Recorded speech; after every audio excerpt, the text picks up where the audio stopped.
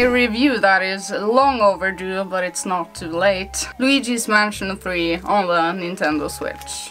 I absolutely adored the first Luigi's Mansion, released on the GameCube in 2001. That was my most replayed GameCube game by far. After that first game it was silent for many years. And then we got Luigi's Mansion 2, also known as Dark Moon. And I had my expectations, unfortunately, sky high for that game. I actually ended up leaving Luigi's Mansion 2 feeling a bit disappointed.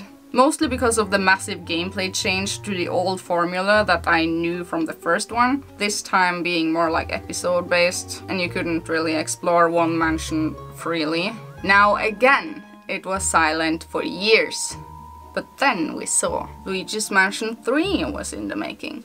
Excited and hopeful to see if they could return to the old original formula and maybe make it right this time around. Luigi's Mansion 3 Buy or not?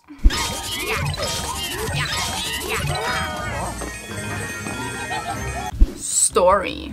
I like the story. I actually think it's pretty genius. This time Luigi, Mario, Peach and her toads and Luigi's dog decides to finally go on a well-deserved holiday because we all know that they have been through a lot. They have seen some However, the hotel that they are staying at turns out to be not how they expected. That old hag that runs the hotel had decided to free older ghosts from their previous imprisonment within picture frames, including good old King Boo, and then instead gets all of Luigi's friends captured in picture frames. They are just never left alone to enjoy a goddamn holiday.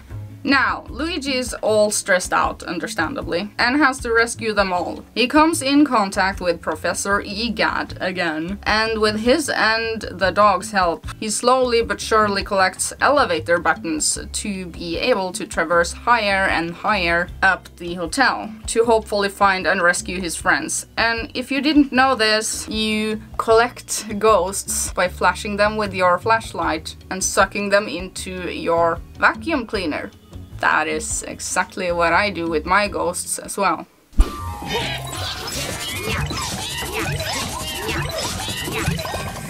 Gameplay.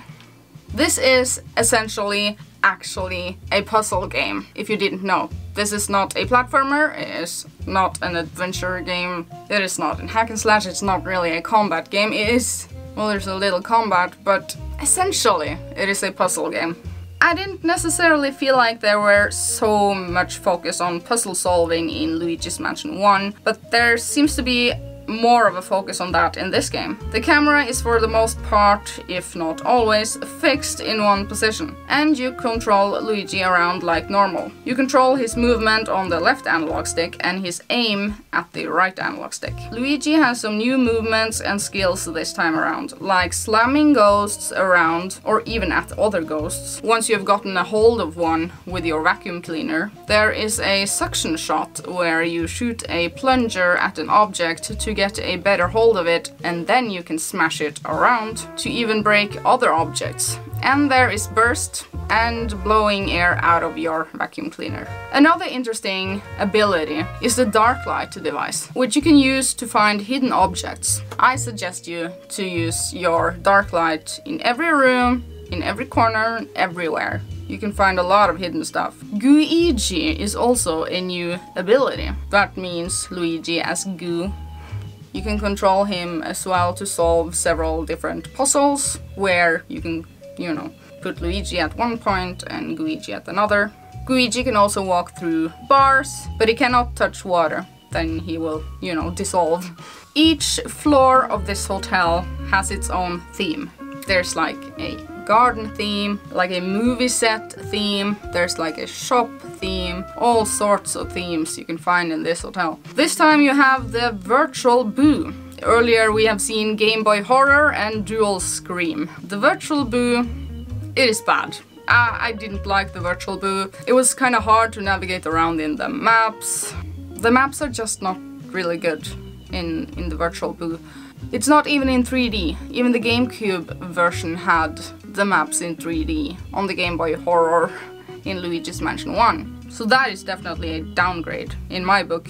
Now, each floor has collectible gems on them, cleverly hidden. So, it's very hard to find all of them. There are several gems on each and every floor, so here's the collectability of the game.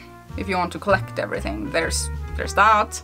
The game autosaves every time you go through a door, which is nice. If you lose all your HP, you are game over, unless you have some dog bones, which serves as an extra life. And you can purchase more of that down at Egad's little, you know, hut in the basement. There are treasure everywhere in Luigi's Mansion 3. This is also a huge part of the gameplay. Collecting coins, bills, gems, gold bars and pearls just about everywhere you go. And with this currency you can purchase dog bones and gem and boo finding cartridges. Often I felt like you had to backtrack in the story, backtrack in the game. I'm not a fan of backtracking. And actually I found myself to be very often stuck in this game actually. You know, it is not for kids. I wouldn't say that this is for kids. It's really super hard game. It's difficult. A lot of the puzzles are just super difficult. Some of the riddles are actually mind-blowingly hard. And in no way could I solve some of them on my own without looking up on the internet. I was that stuck. This game is just, like I said, too hard for kids. This game is for you know, smart adults. Graphics. Okay, so have a look at the details here, because there are small and incredible details to be found everywhere, like how items and even Luigi himself look when being vacuumed, and the lighting effects and the general use of light and shadows and contrasts. There is also the variety of all the floors, and you can really feel that this is a Nintendo game. It is in a whole other league than the usual indie games, that's for sure. First party Nintendo games are always top notch in the details department, in my opinion. Luigi is full of expressions and I love it.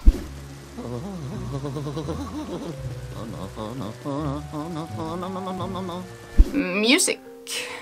Okay, so funny story. I've replayed the first Luigi's Mansion with my mom for years, so naturally we were excited to play this one together as well. So for me, this has been a great family game. I have played this game with my mom, almost the entire game, exclusively with my mom. And she was like, don't play it without me watching. And she also played a little bit, you know, but she she kept on dying. So in the beginning of the game, the music felt new very new. I didn't really recognize the tunes. But as we progressed further up the hotel, I was like, listen, that tune! We recognized the old mansion theme. That was a moment. So in other words, there's something new and there's something old and familiar to hear in Luigi's Mansion 3. And again, I have to say, this is a Nintendo game. Of course the sound effects and soundtrack has been well perfected. But the low health noise when you are low on health. They should have dropped that, because that got annoying really quickly.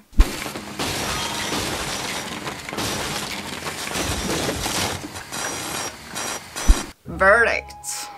In my very own and personal biased opinion, I think I still like the original first game for the GameCube the most, but I openly welcome Luigi's Mansion 3 and who knows? I may grow to like it more and more in time with the new gaming memories that I'm making currently with my mom. Because this is our series. If you have a family member to play this with, I suggest you do that. As, like I said, it is a very family-friendly title. Luigi's Mansion 3 is actually all the way quality. Just be in mind that this is a puzzle game so that you, beforehand, you know, know what you are getting into. And it is really hard. The puzzles are mind-blowing. I give Luigi's Mansion 3 a 9 out of 10 because it is very solid for the genre that it belongs to, that is. Alright, so please subscribe to my channel if you are new here and hit the like button because that actually helps a channel out. Thank you so much for watching and I will see you later.